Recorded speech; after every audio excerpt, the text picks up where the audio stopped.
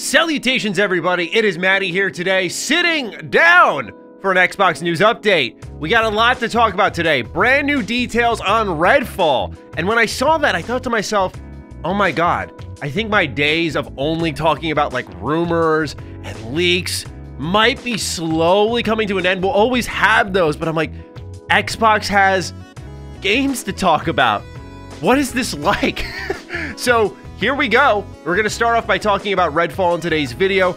We're also going to dive into the Xbox Bethesda Game Showcase Extended for this year which is where we sit down, we see a lot of developer interviews. There were a couple of announcements, a couple of reveals there that you may have missed, so I wanted to put them in this video.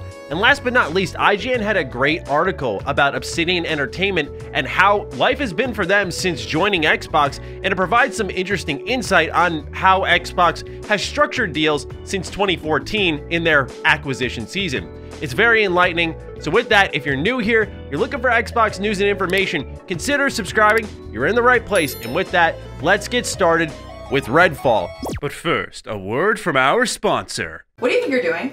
Uh, I'm playing Turtles in Time, getting ready for Shredder's Revenge on Game Pass, baby. What's up? You're procrastinating. Procrastinating what?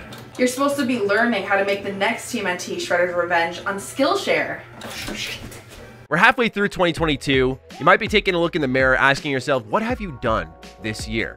And honestly, it's never too late to start learning. That's why I like Skillshare, because you can go over and learn about literally anything, like I did with Jack Donaldson's Learn Video Game Development and Programming class available on Skillshare. It was there that I learned about navigating through the engine known as Unity, the steps required for game creation, programming fundamentals, so on and so forth. Programming's always been a rough spot for me, and I found this class insanely helpful.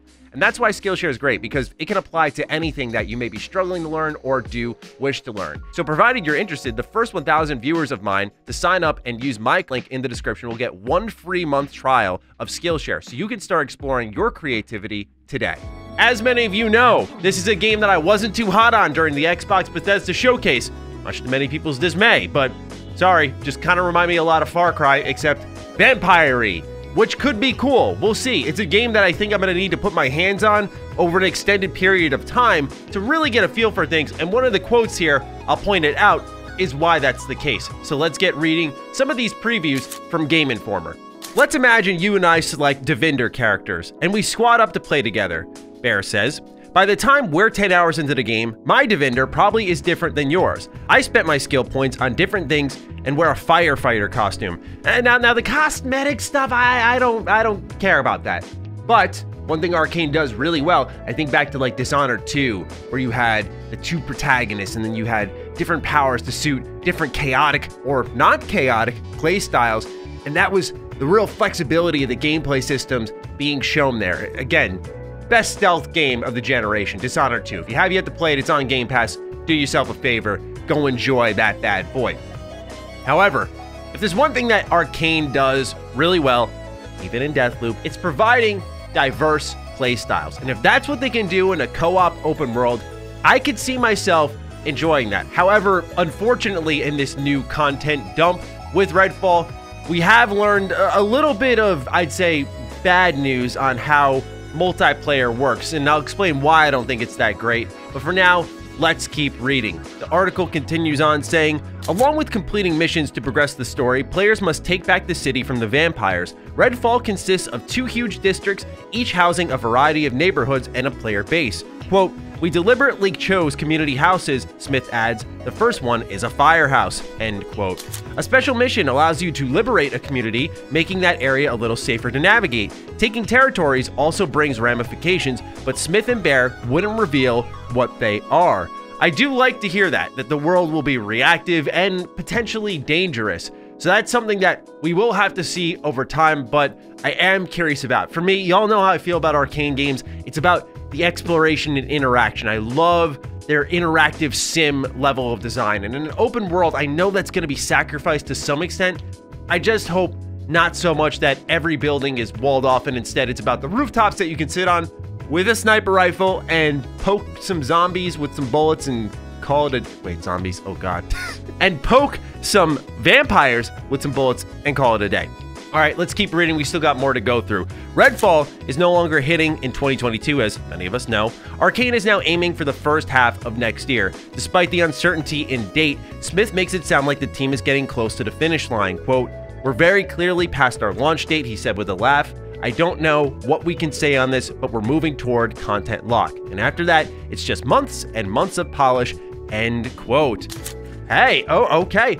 This is the stuff we want to hear because Starfield is also apparently putting the final touches on the game as we talked about in the previous Xbox News update. And I'm like, oh, okay, like, wait, wait a minute. Hold on. If these games are going to get just six to eight months of raw polish, that is really, really encouraging to hear because one thing that PlayStation is known for are the blockbuster exclusives that come out relatively polished. Now, there are some examples, like I think Ratchet and Clank Rift Apart was surprisingly buggy and it was not talked about a lot. And I do think that's because PlayStation's reputation kind of buried that level of criticism because they're so consistently putting out bangers that people don't overreact to the bugs. And I think with Xbox, they understand that, you know what, if we're to put out Redfall and it's kind of buggy, it's like, ah, this is okay. Or you put out Starfield, it's like, hey, this is ambitious, but it's pretty buggy. I think people are going to be less forgiving. And I don't mean to be this guy who, I don't want to sound like I'm peddling console wars, but I think the way people talk about Xbox and Microsoft is vastly different from PlayStation. I do think the goalposts get moved quite often for Xbox. And undeservedly so in some instances. So I think Xbox understands the position they're in, and it's better to be safe than sorry. Let's take the time to really polish things up. So it doesn't sound like either Starfield or Redfall are in these dire situations currently, given the extra development time they now have. So that is really nice to see, and hopefully when both these games come out, they are very polished. There is more though, and this is the part where I think we get into some of the, the bad news, if you will. Following that reveal, Redfall game designer Harvey Smith spoke to IGN in a new interview about the title's co op and how it works. Here, Smith revealed that Redfall's campaign progress is tied to the host of the co op party, and that it's only persistent for that host, as reported by Games Radar. This means that if you're teaming up with someone to play co op and that you're not the host, you will not receive the campaign progress they might after completing a level. Quote, so for the flow of things, you want to have to redo those, Smith said. The story would be very confusing if you got to mission 8 and it said, skip this one because you've already done it, end quote. Smith said that Arkane initially tried to give every player some credit for completing a given level when they aren't the host. However, this didn't work out as those same players would then run into that same mission again when playing it solo or as the host of their own co-op session. However, Smith told IGN that character progression aspects such as loot and XP would carry over to your campaign. This I understand because they did provide reasons for it. But one thing I didn't like about Far Cry 6 is one that comes to mind, and it's funny because I was making Far Cry comparisons earlier, is that you would play co op, and if someone were to join my world, their progress would not carry over when they went back to their open world. And I imagine it's for the same rationale here that the story wouldn't make sense that if you checked off a couple of boxes in a co op session and came back to your own single player session, it wouldn't make sense why suddenly you were on a different part of the island, I, I guess, and, and that this story had moved so far ahead from where you first were in your single player session. To me, it's just frustrating because what it does is it binds you to your co op partner a little too tightly. I like it when co op is progressed alongside both parties because what happens is that if my buddy is busy for a weekend or something like that and I want to play some Redfall, I can and I'll have my progress. I don't have to retread old ground. Now, is it good that your loot and character progress is there so you don't have to worry about losing that stuff? Yes, absolutely. But to me, I just can't help but be a little whelmed by that. I think of something like Borderlands and the idea of, huh, after I finished all of these endgame things, I hop back into my world and I'm level one. Wow, that stinks. So again, I understand why on a tech side they can't really do it and they think it doesn't make sense for the story, but I do find it a, a, little bit disappointing because I would love to have been able to hop in and out of co-op sessions and just keep progressing on my own. All right, now it's time to talk about the Xbox Bethesda Showcase Extended. A couple of announcements were in there. The first was that Valheim is coming to Xbox. It was confirmed that it was coming to PC Game Pass during the showcase, but following a handful of gameplay clips, it was confirmed to also be coming to console. This is aiming for spring 2023, and it will be a console launch exclusive. This is a huge get for Xbox. This is one of the biggest games, and I'm pretty sure it's still in early access, and it's still insanely popular. So, a very smart move on Xbox's behalf. A lot of strategic moves by them. Valheim being one of them, Riot Games partnership being another. These are moves that may not excite you, but are going to grow the service. So that is exciting indeed, because hopefully it will mean more deals for people like you and I who care about, you know, like single player games on Game Pass, which we saw a lot of, like Flintlock, Ravenlock, all this stuff looked pretty good. Continuing on, there were a couple of other reveals. One of them was Ara History Untold. This is from Oxide Games, and this was known as Project Indus for those who remember the code name during the rumor mill. It got its first bit of gameplay. It's all pre alpha, it's very brief, and I was happy to see this here. It was a nice little surprise that felt rewarding for tuning in, right? Because we saw a CG trailer during the showcase, and I was like, why was this even here if gameplay wasn't ready? Then you see it at the extended showcase with brief gameplay, and I'm like, this could have probably fit into the trailer there with the gameplay only mandate. Uh, but nonetheless, here it is in action. I'm excited for another real time strategy game, probably inspired by Civilization based off some of the writing on the website. You can sign up for the alpha right now through the Insider program, and they'll likely be testing it over time.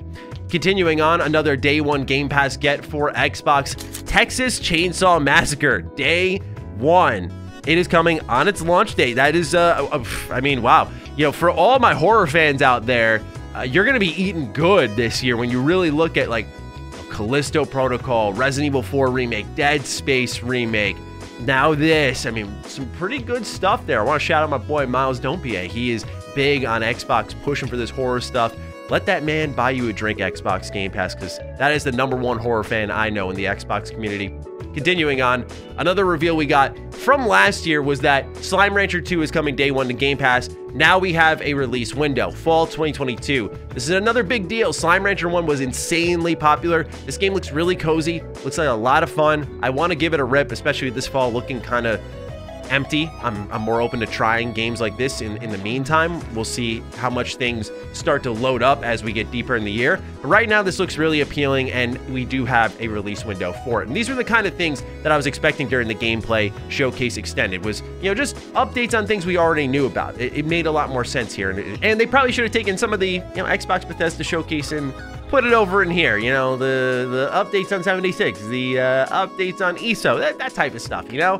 We learned that Forza Horizon 5's Hot Wheel expansion is going to bring a brand new campaign. I'm not sure how many people expected that, but I know a lot of you out there are Forza fans. If my comment section on my showcase review is anything to go by, Master Chief is coming to Fall Guys. I haven't played Fall Guys since it was free on PS Plus, but I know a lot of you out there are really excited for this game to arrive on Xbox June 21st, and now you'll get to play as Master Chief. Now, I do like the grunt outfit that they have. This thing is just like, it's so adorable. I can't, man. It's like one of my favorite costumes I've seen in Fall Guys. You had some great ones, like the 2B one was hilarious, but I gotta say, the grunt one is, is easily one of my favorites. Please check it out if you have yet to see it. Last thing, ended the showcase with this one was one of the most moving, probably the most moving trailer I've ever seen in the video games industry because it was the team GSC Game World who's working on Stalker 2 and the reality of developing a game during the war in Ukraine.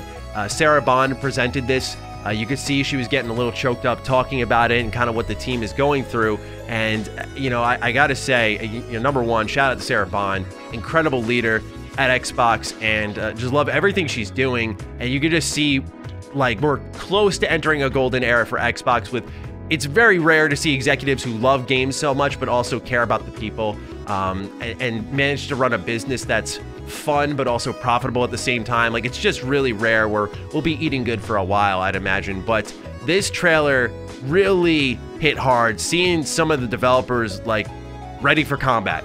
I just i was pretty rattled by it. It, it kind of brought things to life even more. And uh, you know, again, just salute to GSC Game World for getting the job done. They uh, showed off the opening cinematic for Stalker 2 as well. They've moved the release date to now 2023, no specific window. Of course, that's completely understandable given that the situation in Ukraine currently, but it's just uh, amazing what they're doing there, and I am excited to play this game for sure. This was one of Xbox's heavy hitters to start this year.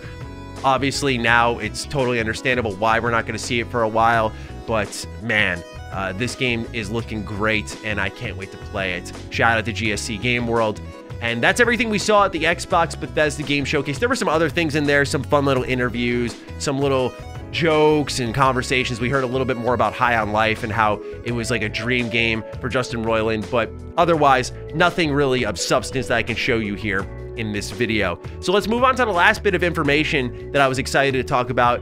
We've heard a lot about Xbox acquisitions, but we haven't really seen a, if you will, inside look at what the process was like for acquiring one of these studios, how it was pitched, and what's the vibe now for that team internally and Obsidian Entertainment had a pretty strong presence at the showcase, albeit with one pretty big missing piece avowed, uh, not being there. And so they were willing to speak out on the impact of Xbox. So I took some highlights out of this article from IGN titled Obsidian and why Xbox's acquisition strategy is staying out of the way. Something we've heard a lot in a negative light, so I thought it was important to present it also in a positive light for studios that really benefit from it. We've heard it negatively from Again, studios like Bethesda, very recently. We've heard it from Undead Labs, very recently, etc., etc. So, uh, also, of course, in the initiative. So let's keep reading here on why it's a positive for Obsidian. According to Urquhart, acquisition by a giant like Microsoft was a leap of faith. But what ultimately sold them on the idea were two things. First, was the substance of what Xbox was pitching. It wanted to let its acquired studios be who they are and retain their creative freedom and studio culture, largely unbothered by Xbox mandates. And then what's really interesting here in this quote is that Fergus Urquhart, CEO of Obsidian Entertainment, talks a bit about just Phil and his overall demeanor and not to treat him like too much of a persona, but that he doesn't really BS and just loves games and he seemed authentic and that type of leadership made it really easy for Obsidian to buy in. It was something worth putting faith into. And again, that's why I say to people, I feel like we're very close to that golden era of Xbox, like I talked about in my 2023 video, where the future just looks so bright on the leadership front, Game Pass front, console launch exclusive front, the technology. We're really getting there. And again, it's a real testament to the leadership that's been steering the ship since, according to this article, 2014. We'll talk about why in a moment, but uh, it's a real coming of age moment for them this generation, and uh, it's it's clear that just authentic personalities can go a long way in these deals and Phil Shirley is one of them alongside the rest of the team like Matt Booty, Sarah Bond, Aaron Greenberg, so on and so forth. But let's keep reading about how long ago this whole process started for Xbox because you think 2018, right, when they started to buy everybody? Wrong, 2014. Before Mojang, it was you're a part of Microsoft. One day you're a part of the studio, the next day you're fully Microsoft and it had varying success, I'll say. So with Mojang, there was an approach taken that we like to call minimal integration, where we looked at the stuff we really needed to have fully integrated. And that's like IT stuff and security policy, that kind of stuff. But we really tried to create stability in these studios to not have the acquisition be something where the whole studio lost focus, where the studio was now trying to figure out this thing called Microsoft. Independence doesn't mean isolation though. McGuane said that Obsidian's case, for instance, she speaks with someone at the studio every few days, and there are connection points all throughout all Xbox owned studios. It's not, she says, that they shut the door and Xbox knocks once a year to collect what it's owed. In return, Xbox gets games, obviously, but it's not just after blockbusters. By relieving the pressure of having to scramble for publishing deal after publishing deal, McGuane says that studios like Obsidian can, if they choose to do so, pursue smaller projects alongside their larger endeavors. Grounded and Pentiment are prime examples of this, where Xbox's safety net helped the developer juggle multiple balls at once.